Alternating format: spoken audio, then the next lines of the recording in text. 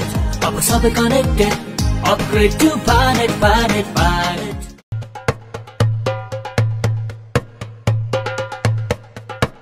अब आकाशको चन्द्रमा भुइँमा देख्न पाइने भएको छ यो कुरा सुन्दा तपाईँलाई जोक्स भनेको जस्तो पनि लाग्यो होला सत्य यही हो। आकाशमा हामी देखिरहेको चन्द्रमालाई दुबईले भुइँमा ल्याएर सबैको अगाडि चकित पार्दैछ। यसो त दुबई विश्वकै विकसित अनि सम्पन्न सहरहरूमध्येको एक सहर हो। मरुभूमिमा बनेको सहर निकै आकर्षक र सुन्दर छ। आजभन्दा बिस वर्ष अगाडि केवल बालुवा रहेको अनि विश्वकै सुनसान ठाउँ रहेको दुवै अहिले स्वर्ग जस्तो बन्न सक्ला भनेर कसैले कल्पना पनि गरेका थिएनन्। दुबईमा जे बन्छ त्यो विश्वमै भएको भन्दा अलग चिज बन्छ। आज हामी दुबईको बारेमा महत्त्वपूर्ण जानकारीहरू लिएर उपस्थित भएका छौँ। पचास वर्ष पहिले दुबई मरुभूमिको बिचमा एउटा सानो सहर थियो। विश्वमै सबैभन्दा छिटो विकास भएको सहर पनि दुबई हो। सन् उन्नाइस सय एकानब्बेमा दुबईमा केवल एउटा अग्लो बिल्डिङ थियो बाँकी सब मरुभूमि। अहिले दुबईमा हजारौँ अग्ला बिल्डिङहरू रहेका छन्। केवल दुई दशकमा दुनियाँको अग्लो गगनचुम्बी महलको साथ एक विशाल महानगरमा परिणत भएको छ। दुबईमा तेल पत्ता लाग्नु अघिको एक सानो सहर अहिले विश्वकै सुन्दर सहरमध्येको एक सहर मानिन्छ। अत्याधिक गर्मी भएका कारण दुबईमा घरभित्र मात्र नभई घर बाहिर पनि एसी अनिवार्य हुन्छ। दुबईको बस पार्क या त मानिसको भिड हुन सक्ने अन्य ठाउँहरूमा एसीको व्यवस्था गरिएको हुन्छ। दुबई संयुक्त अरब इमिरेट्स युएईको एक भाग हो। जहाँ Abu Dhabi Dubai Sharjah Ajman Umm Al Quwain Ras Al Khaimah र फुजैराहा गरी सात इमिरेट छन्। अबुधाबी संयुक्त अरब इमिरेट्सको राजधानी हो। यो सहर दुबईबाट करिब एक घन्टा टाढा छ। दुबई सहर संयुक्त अरब इमिरेट्समा पूर्वी अरबी खाडीको दक्षिण पश्चिम कुनामा अवस्थित छ। दुबईको जनसङ्ख्या दुई दशमलव पाँच मिलियन रहेको छ र दुबई अधिक जनसङ्ख्या भएको सहर पनि हो। दुबईको राष्ट्रिय भाषा अरबी हो तर यहाँ अङ्ग्रेजी व्यापक रूपमा बोल्ने गरिन्छ। अङ्ग्रेजी भाषा जानेको मान्छेलाई बाटो सोध्न या मानिसहरूसँग कुरा गर्न कुनै समस्या हुँदैन किनकि त्यहाँ बसोबास गर्ने प्राय मानिसहरू अङ्ग्रेजी भाषा बुझ्छन् साथै रोड सङ्केतहरू पनि अङ्ग्रेजीमै लेखिएको हुन्छ। दुबईमा प्रशस्त धन छ त्यो त सबैलाई थाहा नै छ। त्यसैले दुबई विश्वकै धनीहरूको सहर हो।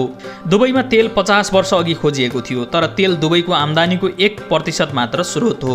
त्यसो भए त्यहाँ यस्तो के चिज छ जसले दुबईलाई किन यति धनी बनाउँछ? दुबईले ग्रेट ब्रिटेनबाट स्वतन्त्रता पाउनु अघि उन्नाइस सय उनासत्तरीमा तेल निर्यात गर्न सुरु गर्यो। तेलको निर्यातले दुबईको आम्दानीको स्रोत बन्यो। उन्नाइस सय अन्ठाउन्नमा दुबईका शासकले पूर्वाधारमा लगानी गर्न थाले र उन्नाइस सय साठीमा दसौँ अरबौँ डलर ऋणबाट पहिलो एयरपोर्ट बनाए।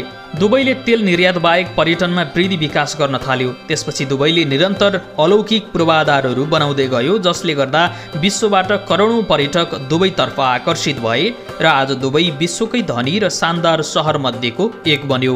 दुबई सहरको नाम लिँदा सबैभन्दा पहिलो बुर्ज खलिफाको याद आउने गर्छ किनकि यो विश्वकै सबैभन्दा अग्लो बिल्डिङ हो। बुर्ज खलिफाको उचाइ आठ सय अठाइस मिटर अर्थात् सत्ताइस हजार एक सय पैँसठी फुट रहेको छ। बुर्ज खलिफा एक टिकाउ बिल्डिङ हो। हरेक वर्ष बुर्ज खलिफाबाट पन्ध्र मिलियन गेलिन पानी जम्मा हुन्छ जुन भू निर्माण अनि पानीको फोहराका लागि प्रयोग गरिन्छ। यदि कुनै कुराको योजना बनाइन्छ भने त्यो एकदम युनिक र विश्वमा कतै नभएको सबैभन्दा अत्याधुनिक हुनुपर्छ।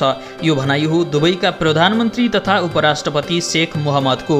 आज उनैको योजना अनुसार निरन्तर विकासको पथमा अगाडि बढ्दै जाँदा अहिले दुबईले आर्थिक विकासमा अकल्पनीय छलाङ मार्न सफल भइसकेको छ। अब कुरा गरौँ दुबईमा बनाउन लागि चन्द्रमाको विषयमा। हामीले आकाशमा देख्ने जस्तै चन्द्रमा दुबईले जमिनमा बनाउँदैछ। यानि कि ठ्याक्कै त्यसको नक्कली। युएले झन्डै साढे छ खरब रुपियाँ बराबरको रकम खर्चिएर चन्द्रमा जस्तै रिसोर्ट तयार गर्दैछ। यो सरकारले दुबईमा बनाउन लागेको चन्द्रमा स्वरूपको रिसोर्टको नाम दुबई मुन राखिएको छ। उसै त युए संसारकै अग्लो भवन बुर्ज खलिफादेखि अन्य विभिन्न गगनचुम्बी महलहरूका लागि परिचित छ। अब मुलुकका ती सुन्दर भवनहरूमा एक अर्को नाम दुवै मुन पनि थपिँदैछ।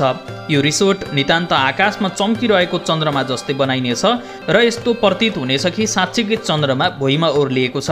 अरेबियन बिजनेस रिपोर्टका अनुसार उक्त चन्द्रमा जस्तो रिसोर्ट बनाउन करिब पाँच अरब डलर खर्च हुनेछ। मुन वर्ल्ड रिसोर्टर्स कम्पनीले उक्त परियोजना तयार गर्नेछ।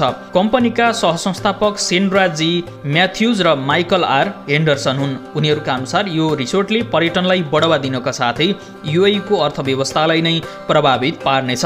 यो रिसोर्टको निर्माण निर्माण कार्य अडचालिस महिनामा पुरा हुने बताइएको छ। यो मुन रिसोर्टले पाहुनाहरूका लागि चन्द्र उपनिवेश प्रस्ताव गर्नेछ र तिन सय आवासीय स्काई विलाहरू बिक्रीका लागि उपलब्ध पनि गराउनेछ। यसभित्र निजी क्लब स्पा घटना केन्द्र एउटा चन्द्र स्थल र अन्तरिक्ष एजेन्सीहरूका लागि पनि प्रशिक्षण केन्द्रको लागि पनि यसलाई प्रयोग गरिनेछ। यो मेगा प्रोजेक्टको काम सन् दुई हजार सत्ताइसमा सम्पन्न गरिसक्ने अपेक्षा गरिएको छ। यसले वार्षिक पच्चिस लाख अतिथिहरू ल्याउने पनि अनुमान गरिएको छ। यसको डिजाइनले नै पर्यटकहरूको भिड जम्मा गर्न पर्याप्त छ भने चन्द्र उपनिवेशले पृथ्वीको बसाइ छोडेर अन्तरिक्ष पर्यटनको अनुभव प्रदान गर्ने लक्ष्य राखेको छ। दर्शकवृन्द यो परियोजना तपाईँलाई कस्तो लाग्यो? जस्तो लाग्यो त्यस्तै प्रतिक्रिया सल्लाह सुझाव दिन नबिर्सनुहोला। हवस् त यस्तै रमाइलो अनि रोचक भिडियोको साथमा हामी अर्को भिडियो लिएर उपस्थित हुनेछौँ। आजलाई भने तपाईँहरू सम्पूर्णप्रति आभारी रहँदै म पनि बिदा हुन्छु। नमस्कार।